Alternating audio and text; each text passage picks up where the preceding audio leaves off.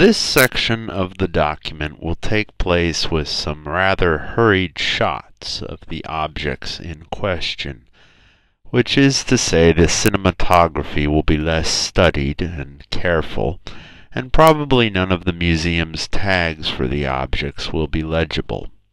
This is because many of the shots following in this section were taken on the fly, as this documentarian was under suspicion upon this particular visit to the British Museum. Basically, the first three times this documentarian went to the British Museum, much filming was done and no one noticed. But then this documentarian released his first documentary, British Bits Undercover at the British Museum.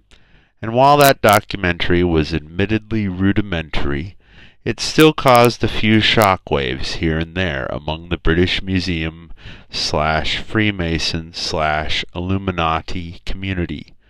And from that point on, in the final three visits this documentarian made to the British Museum, one of which this documentarian retrieved his aforementioned old college friend Kelly in, this documentarian found himself being watched more frequently by museum staff and even followed, and that definitely notes were taken on his presence.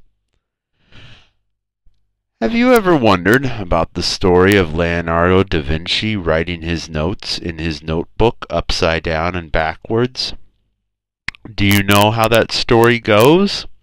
It goes that Leonardo da Vinci wrote his notes upside down and backwards to keep people from reading over his shoulder his bright ideas.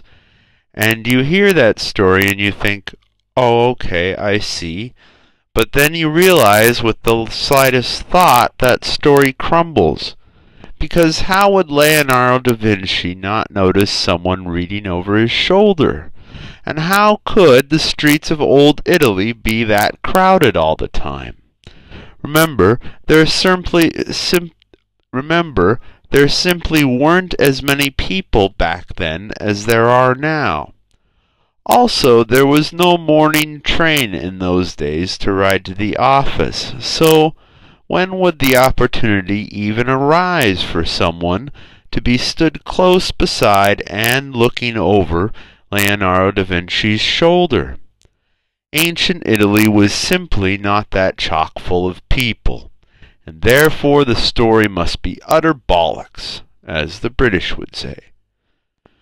Notes are things that people take quite openly, actually. When someone gets out a pen and a bit of paper and writes something down, that is an obvious action but no one will gather around to read the note. That's just rude. Therefore, Leonardo da Vinci, and for that matter, anyone anywhere in the entire timeline of history, has nothing to worry about uh, when he took his notes as far as someone peeping over his shoulder. And British Museum staff, in the employ of the Illuminati and the Freemasons, conversely could take notes on this documentarian, that is, myself. Hereafter, uh, I will be known in the interests of academia as this documentarian.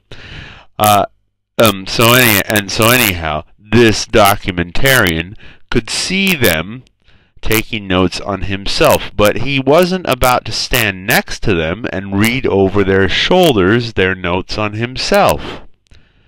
But as far as that goes, this documentarian wound up fearing for his life during his final three visits to the British Museum, and therefore this section of the document will contain a fair few shots done quickly, done on the fly. So, that said, a stir-fry pan full of knuckles. We say that jokingly, of course, though it's hardly a joke.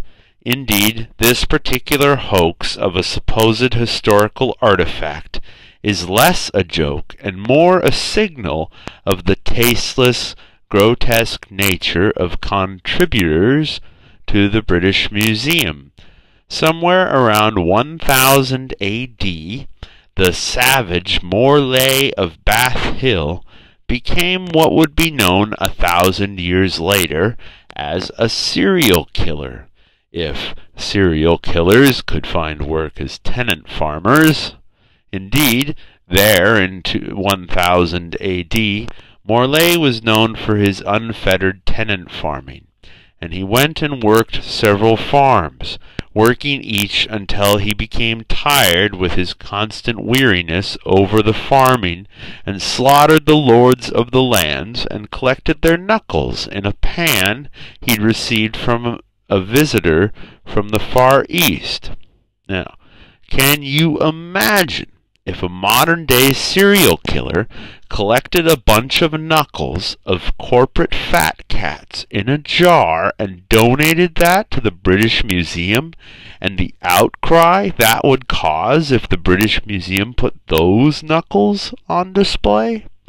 This documentarian would therefore suggest this very exhibit is a high example of the perversion of the notion of historical context that flows like a common cold throughout the British Museum.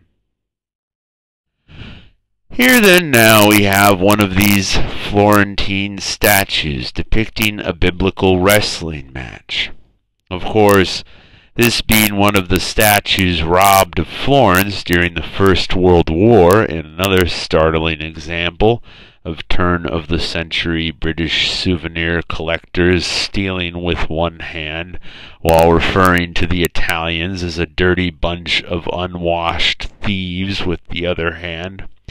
The statue remains unnamed, and the British Museum in its arrogance, has seen ill fit to actually place a tag there too.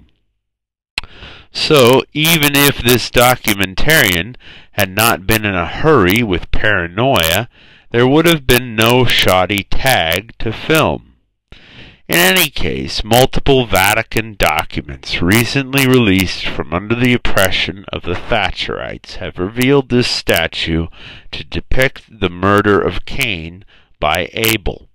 Facial hair being considered a sin in ancient times as well as Florentine times, Abel is of course sculpted, wearing a beard, in league with the devil as he is. Cain is naked, a sign of vulnerability and victimhood, but also a sign of purity and angelicness. In biblical times, a man could walk around naked and instantly be recognized as a saint. The prominence and centrality of the nipple suggests death, but also the promise of rebirth and feeding at a new breast with a new life in the offing. You'll find none of this valuable information anywhere in the British Museum's tag for the statue, however, and you'll be lucky to even find the tag.